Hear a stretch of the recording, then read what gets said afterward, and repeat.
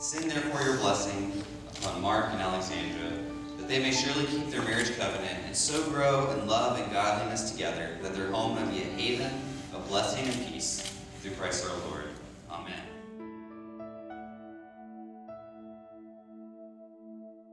I uh, give you this ring As a sign of my vow, as a sign of my vow, and with all that I am, and with all that I am, and all that I have, and all that I have, I honor you. I honor you. In the name of the Father, In the name of the Father, and the Son, the Son, and the Holy Spirit. and the Holy Spirit. Amen. Amen.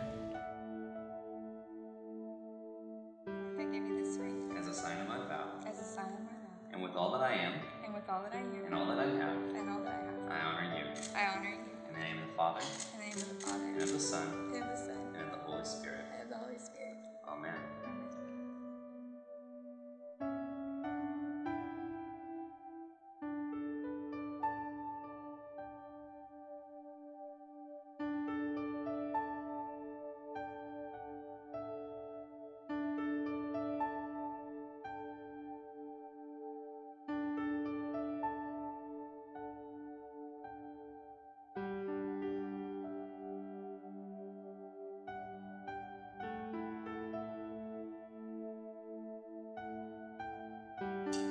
Taught me patience.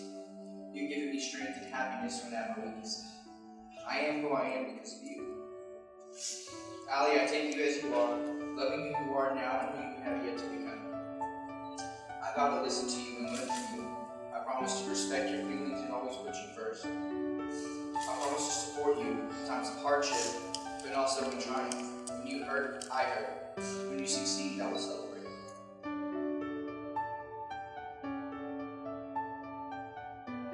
Story isn't the typical fairy tale. There are no glass slippers, there's no fairy godmother, and there certainly aren't any forest creatures that clean our house. But our story is ours.